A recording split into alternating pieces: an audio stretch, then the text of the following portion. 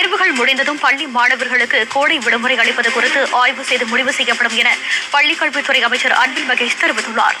திருச்செந்தூரில் செய்தியாளர்களிடம் பேசிய அன்பில் மகேஷ் மே ஐந்தாம் நாள் முதல் மே இருபத்தி எட்டு வரை தேர்வுகள் நடைபெறுவதாகவும் தேர்வுகள் முடிந்த பின்னர் பாடத்திட்டங்கள் முழுமையாக முடிக்கப்பட வேண்டும் என்பதால் கோடை விடுமுறை குறித்து துறை ரீதியாக ஆய்வு செய்த பிறகே அறிவிக்க முடியும் என்றார் இரண்டு ஆண்டுகள் கொரோனா காலத்தில் மன ரீதியாக பாதிக்கப்பட்ட மாணவர்களுக்கு கவுன்சிலிங் கொடுக்கும் வகையில் முதற்கட்டமாக மாணவர்களுக்கும் ஆசிரியர்களுக்கும் பயிற்சி கையேடுகள் வழங்கப்பட்டுள்ளதாகவும் அமைச்சர்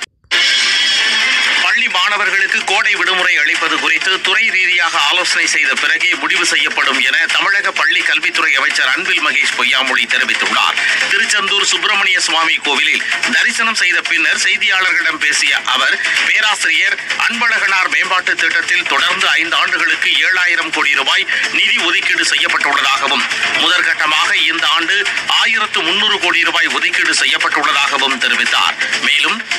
ஐந்தாம் தேதி முதல் இருபத்தி எட்டாம் தேதி வரை தேர்வுகள் நடப்பதாலும் பின்னர் பாடத்திட்டங்களை முடிக்க வேண்டி இருப்பதாலும் கோடை விடுமுறை குறித்து ஆலோசித்து முடிவெடுக்கப்படும் என்று அமைச்சர் கூறினார் இந்த கொரோனா காலத்துல வந்து ஒவ்வொரு இதுமே பார்த்தீங்கன்னா காலம் தள்ளி தள்ளி தான் போயிட்டு இருக்கு நமக்கு ஏற்கனவே நமக்கு வந்து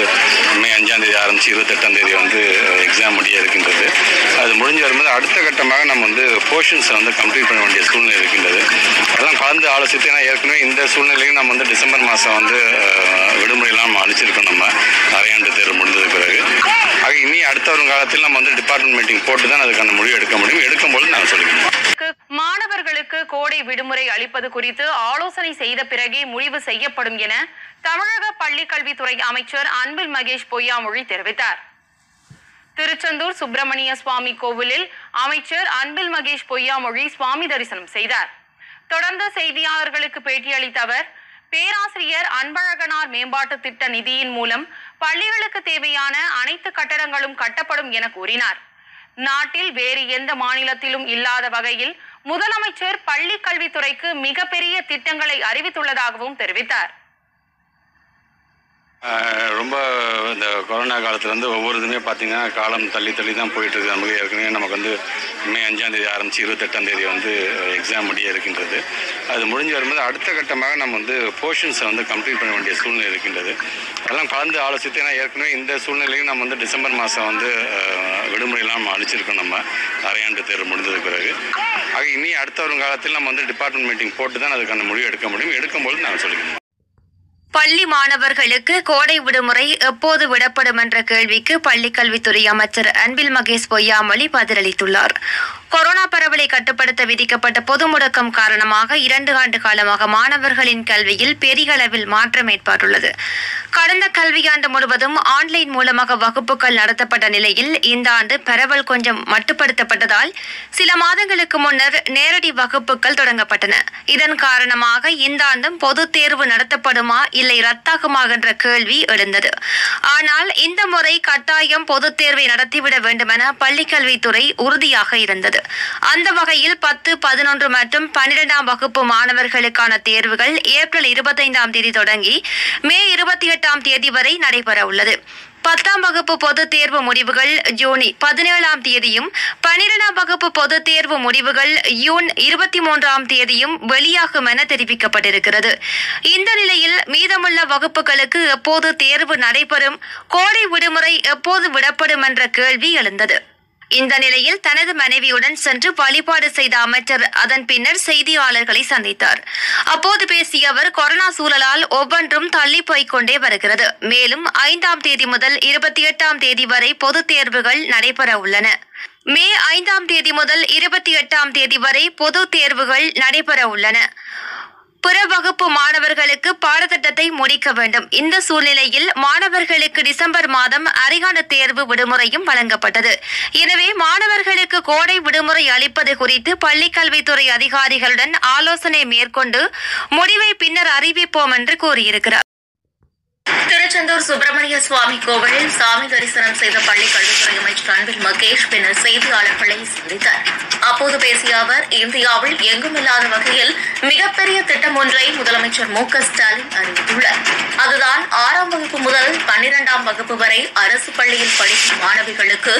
உயர் படிப்பு பட்டயம் பட்டய படிப்பு படிக்க செல்லும் போது மாதம் ஆயிரம் ரூபாய் அவர்களது வங்கிக் கணக்கில் செலுத்தப்படும் என்று அறிவிப்பாகும் இதன் மூலமாக மாணவிகளுக்கு ஒரு ஊக்கம் அளிக்கப்படுவதுடன் பெற்றோர்களும் அவர்களை அரசு பள்ளியில் படிப்பதற்கு அனுப்பி வைப்பார்கள் அரசு பள்ளிக்கு மட்டும்தான் தமிழக முதலமைச்சர் இந்த திட்டத்தை தற்போதைக்கு அறிவித்துள்ளார் என்றார் தொடர்ந்து பேசிய அவர் கொரோனாவால் தாமதமாகத்தான் பள்ளிகள் திறக்கப்பட்டுள்ளது மே ஐந்தாம் தேதி முதல் இருபத்தி எட்டாம் தேதி வரை தேர்வுகள் நடைபெறுகிறது முடிந்த பிறகு பாடத்திட்டங்கள் முழுமையாகவே முடிக்கப்பட வேண்டும் எனவே கோடை விடுமுறை அளிப்பது தொடர்பாக அதிகாரிகளுடன் ஆலோசனை நடத்திய பின்பு அறிவிக்கப்படும் பேராசிரியர் அன்பழகனார் மேம்பாட்டுத் திட்டத்தில் தொடர்ந்து ஐந்து ஆண்டுகளுக்கு ஏழாயிரம் கோடி நிதி ஒதுக்கீடு செய்யப்பட்டுள்ளது முதற்கட்டமாக ஆயிரத்து முன்னூறு கோடி ஒதுக்கீடு செய்யப்பட்டுள்ளது குறைந்தபட்சமாக பதினெட்டாயிரம் வகுப்புகள் கட்டப்பட வேண்டும் பள்ளி கழிவறைகள் ஆய்வுக்கூடம் பள்ளி வளாகத்தில்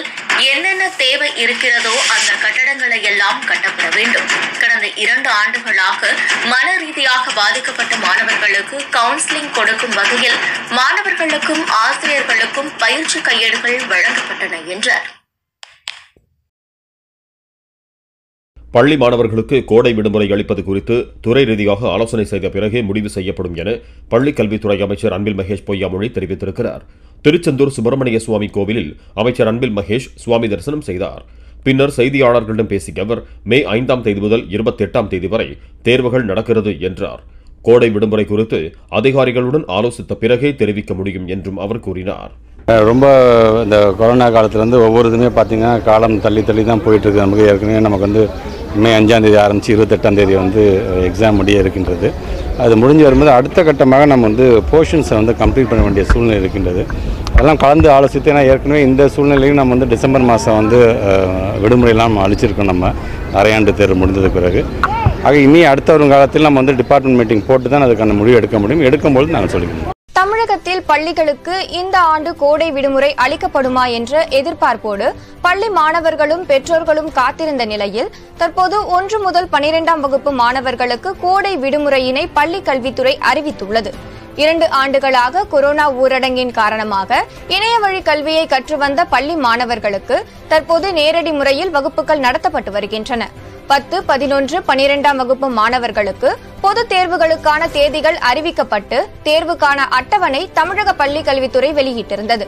தேர்வு முடிவடைந்த பிறகு கோடை விடுமுறை அளிக்கப்படுமா என்று பள்ளி மாணவர்களும் பெற்றோர்களும் எதிர்பார்ப்போடு காத்திருந்த நிலையில் தற்போது ஒன்று முதல் ஐந்தாம் வகுப்பு வரை உள்ள மாணவர்களுக்கு மே பதினான்காம் தேதி கோடை விடுமுறை அளிக்கப்பட்டு ஜூன் பதிமூன்றாம் தேதி வகுப்புகள் திறக்கப்படும் என்றும் பத்தாம் வகுப்பு மாணவர்களுக்கு முப்பத்தி ஒன்றாம் தேதியிலிருந்து தொடர்ந்து முப்பது நாட்களும் பதினோராம் வகுப்பு மாணவர்களுக்கு ஜூன் ஒன்றாம் தேதியிலிருந்து இருபத்தி மூன்று நாட்களும் பனிரெண்டாம் வகுப்பு மாணவர்களுக்கு மே இருபத்தி எட்டாம் தேதியிலிருந்து பனிரெண்டு நாட்களும் விடுமுறை அளிக்கப்படும் என பள்ளி கல்வித்துறை அறிவித்துள்ளது